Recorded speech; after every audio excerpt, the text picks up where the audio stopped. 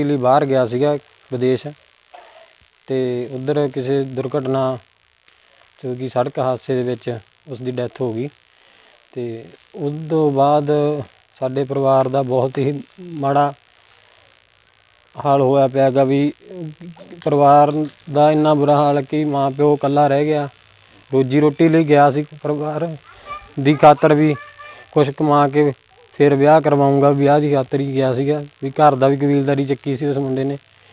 ਵੀ ਅਸੀਂ ਤਾਂ ਇਹੀ ਸਰਕਾਰ ਅੱਗੇ ਮੰਗ ਕਰਦੇ ਹਾਂ ਵੀ ਵੀ ਉਹਦੇ ਪਰਿਵਾਰ ਦੀ ਵੱਧ ਤੋਂ ਵੱਧ ਮਦਦ ਕੀਤੀ ਜਾਵੇ ਤੇ ਉਹਦੀ ਬੋਡੀ ਨੂੰ ਇੱਧਰ ਲਿਆਂਦਾ ਜਾਵੇ। ਤਾਂ ਜੋ ਜੋ ਵੀ ਰੀਤੀ ਰਿਵਾਜ ਹੁੰਦੇ ਆ ਪਰਿਵਾਰ ਦੇ ਉਸ ਹਿਸਾਬ ਨਾਲ ਸੰਸਕਾਰ ਕਰ ਸਕਣ ਉਹਦਾ। ਪਰਿਵਾਰ ਵਿੱਚ ਕੌਣ ਰਹਿ ਗਿਆ ਜੀ ਬਾਕੀ?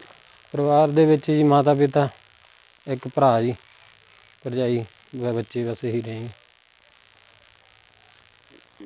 ਬਲਵੀਰ ਸਿੰਘ ਜੀ ਮੇਰੇ ਚਾਚਾ ਜੀ ਬਿੱਕਰ ਸਿੰਘ ਆ ਉਹਨਾਂ ਦੇ ਬੇਟਾ ਸੀਗਾ ਜੀ ਸੁਖਚੈਨ ਸਿੰਘ ਜੀ ਹਾਂਜੀ ਕਿੰਨਾ ਟਾਈਮ ਪਹਿਲਾਂ ਕੈਨੇਡਾ ਗਏ ਤਿੰਨ ਸਾਲ ਪਹਿਲਾਂ ਗਏ ਜੀ?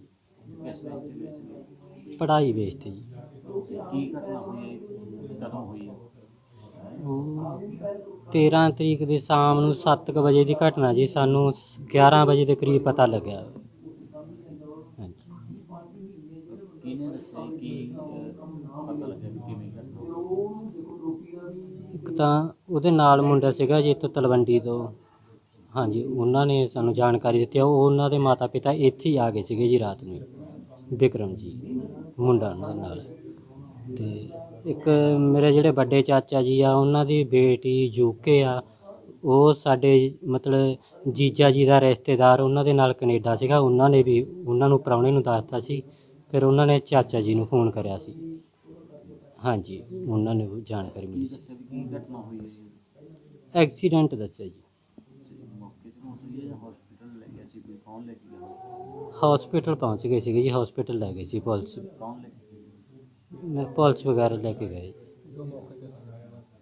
ਤੇ ਡੈਥ ਹਸਪੀਟਲ ਤੋਂ ਹੋਈ ਹੈ ਜਾਂ ਮੌਕੇ ਹਸਪੀਟਲ 'ਚ ਹੋਈ ਹੈ ਜੀ ਕੇਰਾਂ ਮਤਲਬ ਉਹ ਮੌਤ ਹੋਈ ਨਹੀਂ ਸੀ ਸਾਹ ਚੱਲਦੇ ਸੀ ਹਸਪੀਟਲ ਜਦੋਂ ਲੈ ਕੇ ਗਏ ਤੁਹਾਡੀ ਕਿਸੇ ਨਾਲ ਵੀਡੀਓ ਕਾਲ ਜਾਂ ਵੈਸੇ ਗੱਲ ਹੋਈ ਕਿਸੇ ਪਰਿਵਾਰ ਨਹੀਂ ਹੋਈ ਜੀ ਵੀਡੀਓ ਕਾਲ ਤੇ ਨਹੀਂ ਹੋਈ। ਹੁਣ ਕੀ ਅਹ, ਕਿਸੇ ਤੱਕ ਪਹੁੰਚ ਕੀਤੀ ਹੈ ਬੋਡੀ? ਇੱਧਰ ਲਿਆਉਣ ਦੀ ਜਾਂ ਉੱਧਰ ਸੰਸਕਾਰ ਕਰਨਾ ਕੀ ਰਹਿ ਇਹਦੇ ਬਾਰੇ ਹਜੇ ਪਰਿਵਾਰ ਫੈਸਲਾ ਕਰ ਰਿਹਾ ਜੀ ਹਜੇ ਕਲੀਅਰ ਫੈਸਲਾ ਨਹੀਂ ਹੋਇਆ। ਪ੍ਰਸ਼ਾਸਨ ਤੋਂ ਜਾਂ ਸਰਕਾਰ ਤੋਂ ਕੀ ਮੰਗ ਹਮ, ਜੋ ਵੀ ਉਹਨਾਂ ਦੀ ਮਦਦ ਕਰ ਸਕਦੇ ਜ਼ਰੂਰ ਕਰਨੀ ਚਾਹੀਦੀ ਹੈ ਪ੍ਰਸ਼ਾਸਨ ਨੂੰ। ਇੱਧਰ ਵੀ ਆਪਣੇ ਪੰਜਾਬ ਸਰਕਾਰ ਨੂੰ ਵੀ ਤੇ ਉਧਰਲੇ ਵੀ ਜੋ ਕਾਨੂੰਨ ਹੈ ਜੋ ਮਦਦ ਹੋ ਸਕਦੀ ਹੈ ਕਰਨੀ ਚਾਹੀਦੀ ਹੈ ਜੀ। ਕਿਉਂਕਿ ਨੌਜਵਾਨ ਮੁੰਡਾ ਸੀ ਇਦੋਂ ਵੱਡਾ ਘਾਟਾ ਕੋਈ ਨਹੀਂ ਮੇਰਾ ਨਾਮ ਗੁਰਦੀਪ ਸਿੰਘ ਪੱਪਾ ਜੀ।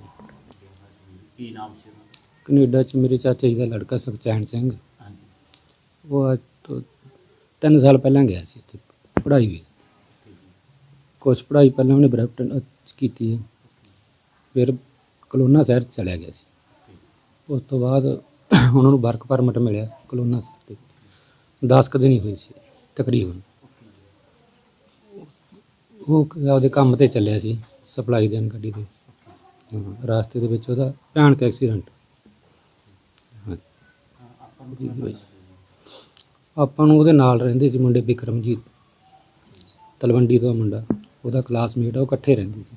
ਉਹਨਾਂ ਨੇ ਸਾਡੇ ਨਾਲ ਜਾਣਕਾਰੀ ਦਿੱਤੀ ਹੈ। ਵੀ ਇਸ ਤਰ੍ਹਾਂ। ਹੁਣ ਕੀ ਹਸਪੀਟਲ ਚ ਹੈ body? ਬੋਡੀ ਉਹਦੀ ਹਾ- ਇਸ ਟਾਈਮ ਹਸਪੀਟਲ 'ਚ। ਹੈ। ਕੀ ਉੱਧਰ ਗਿਆ ਕੋਈ ਕੈਨੇਡਾ ਕੈਨੇਡਾ 'ਚ ਉਹਦੇ ਯਾਰ ਮਿੱਤਰ ਆ ਹਜੇ ਇਧਰ ਪਰਿਵਾਰ ਵੀ ਨਹੀਂ ਕੋਈ ਕਿਸੇ ਨੇ ਜਾਣਾ ਸੀਗਾ ਵੀ ਜਾਣਾ? ਚਾਹੁੰਦੇ ਸੀ ਪਰਿਵਾਰ ਮੈਂਬਰ ਮਤਲਬ ਇਹਨਾਂ ਨੇ ਟਿਕਟ ਕਰਵਾਉਣੀ ਸੀ ਤੇ ਉਹ ਉਸ ਤੋਂ ਪਹਿਲਾਂ ਹੋਈ ਨਹੀਂ ਅਜੇ ਕੱਲ ਹੀ ਉਹਨਾਂ ਨੇ ਟਿਕਟ ਕਰਵਾਉਣੀ ਸੀ ਜਾਣਾ ਸੀ। ਉਹਦੀ ਮੰਮੀ ਦਾ ਤੇ ਡੈਡੀ ਦਾ ਵੀਜ਼ਾ ਆਇਆ ਵਾ। ਉਹਨਾਂ ਨੇ ਜਾਣਾ ਸੀ ਉਹਦੇ ਕੋਲੇ। ਘਰ ਦੀਆਂ ਬਸ ਕਬੀਲਦਾਰੀਆਂ ਦੇ ਕੰਮ 'ਚ ਅਜੇ ਤੱਕ ਨਹੀਂ ਜਾਇਆ ਗਿਆ। ਉਹ ਜਾਣਾ ਚਾਹੁੰਦੇ ਸੀ। ਕਿੰਨੇ ਸਾਲ ਪਹਿਲਾਂ ਦੇ ਹੋ? ਤਿੰਨ ਸਾਲ ਹੋ ਗਏ। ਕਿਸ ਬੇਸ ਤੇ? ਪੜ੍ਹਾਈ ਵੇਸ ਤੇ। ਕਿੰਨੀ ਉਮਰ ਸੀ? ਉਮਰ ਉਹਦਾ 2 ਅਪ੍ਰੈਲ ਦਾ ਜਨਮ ਆ 2000 ਦਾ ਜੀ। 23 ਸਾਲ ਦੀ ਉਮਰ ਆ ਮਤਲਬ 24 ਅ- ਅਪ੍ਰੈਲ ਚ ਉਹਨੇ 24 23 24ਵਾਂ ਸਾਲ ਲੱਗ ਜਾਣਾ ਸੀ।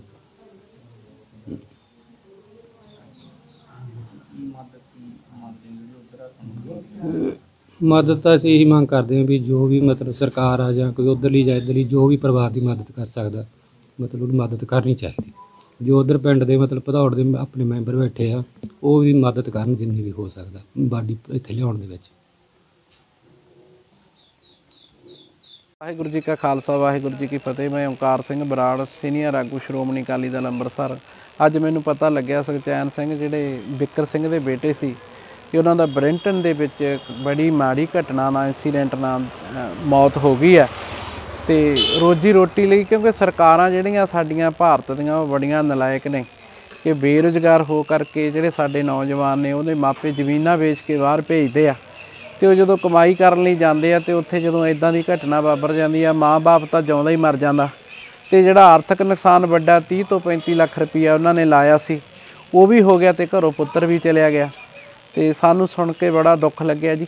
ਅੱਜ ਹੀ ਮਤਲਬ ਪਤਾ ਲੱਗਿਆ ਸਾਨੂੰ ਤੇ ਮੈਂ ਸਰਦਾਰ ਸਿਮਰਜੀਤ ਸਿੰਘ ਮਾਨਕ ਨੂੰ ਦੁੱਖ ਸਾਂਝਾ ਕਰਦਾ ਜੀ। ਤੇ ਸੈਂਟਰ ਸਰਕਾਰ ਨੂੰ ਤੇ ਪੰਜਾਬ ਸਰਕਾਰ ਨੂੰ ਮੈਂ ਬੇਨਤੀ ਕਰਦਾ ਕਿ ਇਹ ਪਰਿਵਾਰ ਦੀ ਸਾਰ ਲਈ ਜਾਵੇ, ਇਹਨਾਂ ਨੂੰ ਆਰਥਿਕ ਸਹਾਇਤਾ ਦੇਣੀ ਚਾਹੀਦੀ ਆ। ਕਿਉਂਕਿ ਉਹਨਾਂ ਕੋਲੇ ਰਿਹਾ ਕੁਛ ਨਹੀਂ, ਉਹਨਾਂ ਦਾ ਇੱਕ ਪੁੱਤਰ ਸੀ, ਉਹੀ ਨੌਜਵਾਨ ਦੀ ਮੌਤ ਹੋ ਗਈ ਆ ਤੇ ਮਾਪੇ ਉਹਨਾਂ ਦੇ ਬਿਲਕੁਲ ਟੁੱਟ ਚੁੱਕੇ ਆ। ਸਾਡੇ ਭਦੌੜ ਦੇ ਵਿੱਚ ਬਹੁਤ ਹੀ ਸੋਗਮਈ ਜਿਹੜੀ ਲਹਿਰ ਆ, ਇਹ ਦੌੜ ਗਈ ਆ ਜੀ। ਬਹੁਤ ਦੁੱਖ ਹੋਇਆ ਜੀ ਸਾਨੂੰ ਸੁਣ ਕੇ।